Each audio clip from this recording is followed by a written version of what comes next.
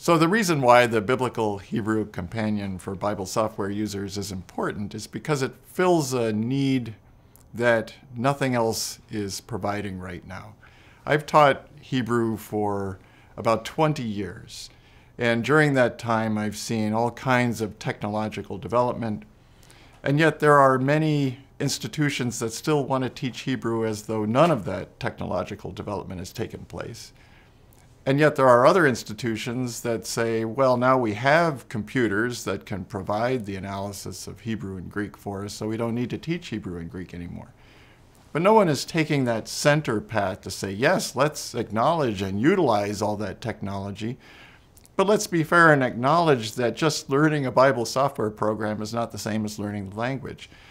So, how can we approach language now in a way that benefits from both of these things? And so, what the Biblical Hebrew Companion does is to say, let's look at what the Bible software is providing us, all those grammatical terms, and then let's explore the so what for those terms. What significance? Why should I care that it's a, an apocopated Hebrew imperfect? What do those words mean and why should I care? Why is that significant for biblical exegesis?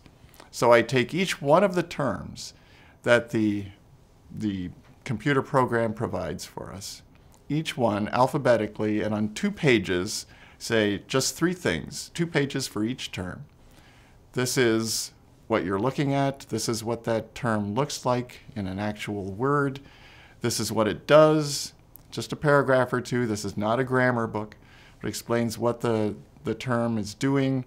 And then it gives an exegetical insight from a specific passage in the Hebrew Bible. Let's look at this passage. Let's look at this grammatical feature at work in this passage and look at how this gives you a deeper understanding of the text than you could get from just looking at the English alone. When you're looking at a passage on your computer program and you put your cursor over a particular word and it gives you the grammatical terms, you can open the book to that term and just leave it open and see everything you need to see on those two facing pages. All the terms are arranged alphabetically, so they're easy to find. It's not a grammar book, but it does help you understand basics of the language. There are some appendices in the back that talk about what the consonants and vowels sound like, what they look like, how syllables work, how accents work, how you read a Hebrew word.